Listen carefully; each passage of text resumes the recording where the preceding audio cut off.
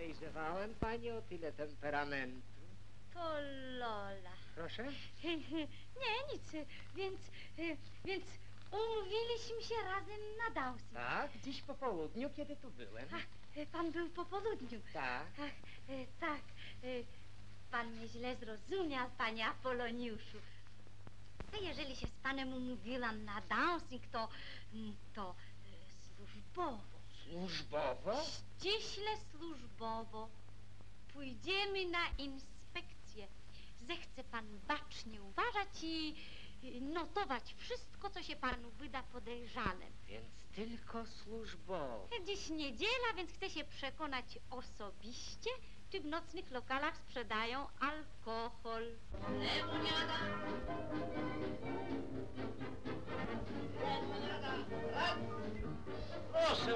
lemoniadę. Czy lemoniada? Lemoniada? Jednakże widzę, że mój zakaz jest przestrzegany. Wszyscy piją tylko lemoniadę. Co panu jest? Coś wpadło mi do oka. Moje uszanowanie, czym mogę służyć? Co pani będzie piła? Chyba to lemoniady. Lemoniada. Lemoniada. Momencik. Nigdy nie próbowałam alkoholu, ale wyobrażam sobie, że to musi być wstrętne. Różnie powiadają.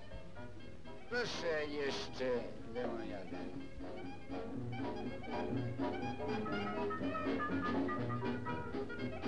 Zdumiewa mnie pragnienie tych ludzi.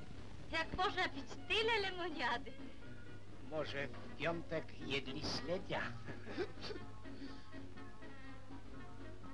Wcale nie zna ta lemoniada. Lemoniada. Bardzo orzeźwiająca ta lemoniada. Proszę o jeszcze jedną. Napoje gazowe, smaczne i zdrowe.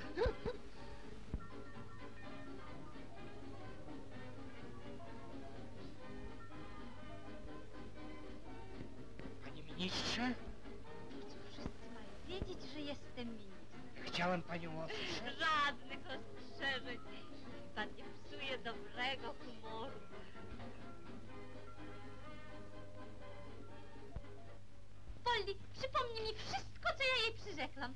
Że pojedziesz na wieś. To dobrze. Blisko, więc pojechałam i zdążyłam wrócić. I co jeszcze? że nikt się nie dowie, że jesteś siostrą ministra. Rozumiesz? Minister sister. No tak. No a jak ja będę występowała? Pomyślałam i o tym. Wystąpisz w masce. W masce, Boże, jakie to romantyczne. Prawda? Mój pomysł. Tak świetny. Serce mi bije. Panie dyrektorze. To pani jest ową słynną gwiazdą? A tak, ja jestem gwiazdą, tak. Byłą gwiazdą. Prymadonną operetki. Ale tym razem nie o mnie tutaj chodzi. Przychodzę w interesie tej damy. Ale czemu ta dama tak chowa twarz? Czyżby aż tak brzydka? Brzydka? Panie dyrektorze, ona jest nawet ładniejsza ode mnie. O. No, cud przystojności. Przed jej talentem klękają narody. Wszechświatowa atrakcja. Tajemnicza czarna maska. Czarna maska. Ale łaskawa pani, ja nie urządzam u siebie czempionatu walk francuskich. Po cóż mi czarna maska? Względy rodzinne zmuszają tę damę do występowania w masce. Stolice świata szaleją za nią, ale gdyby się dowiedziano, kim jest, w najpoważniejszych sferach polityczno-rządowo-dyplomatyczno-towarzyskich wybuchnąłby skandal. O! A, a śpiewa? Jak Słowik. Tańczy jak Paganini. No, A no. gdyby pan dyrektor chciał posłuchać i popatrzeć? O, proszę bardzo, proszę, niech pani zaśpiewa, proszę. O, Lola, śpiewaj, jazda. Słyszał pan? Co? No, już samo chrząknięcie. Metal, srebro, złoto.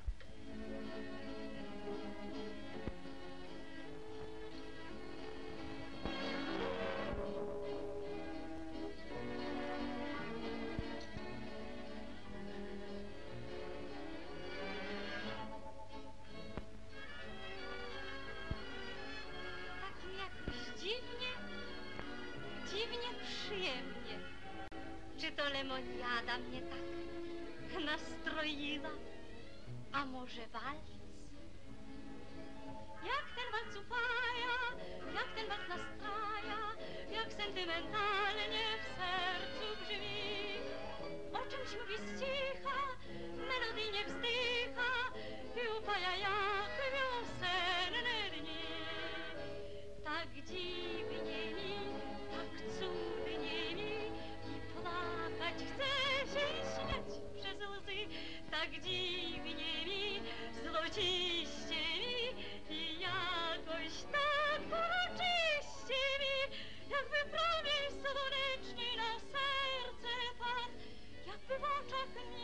mi nagle wypiękniał świat.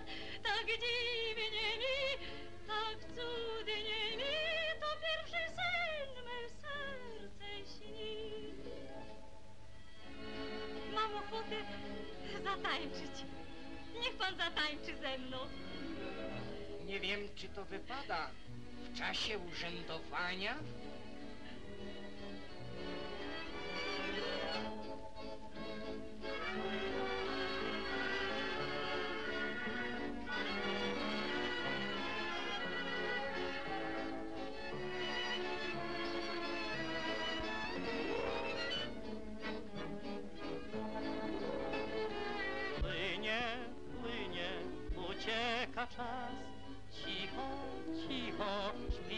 Serce w nas. Potem nagle ktoś przyjdzie i wiesz na sen. I wiesz to tam, i wiesz to ten. Usta, usta posłuszne są, serce sercu mówi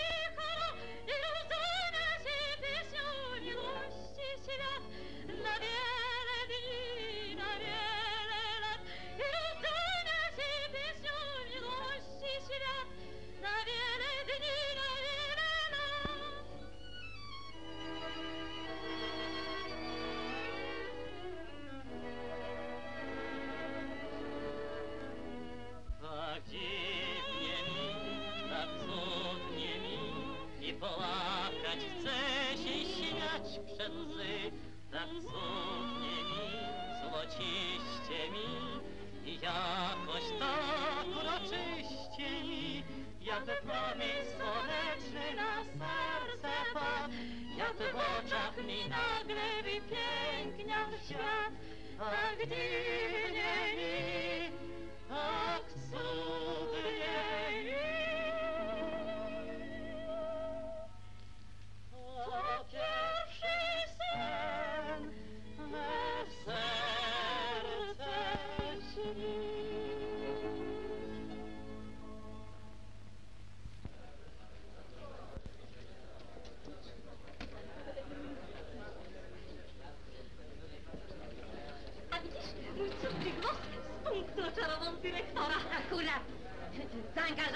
ja go oczarowałam.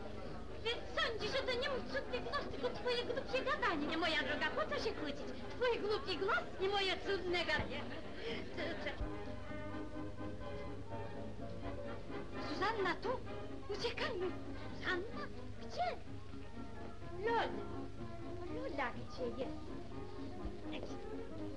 Puść!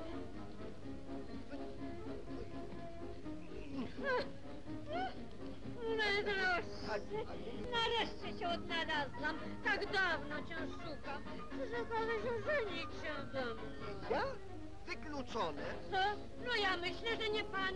Panie ministrze, spotkałem tu pewną osobę, która, y, której nie przewidziałem niestety w ewidencji. Wobec tego musimy natychmiast opuścić ten lokal. Dlaczego? Tak przyjemnie.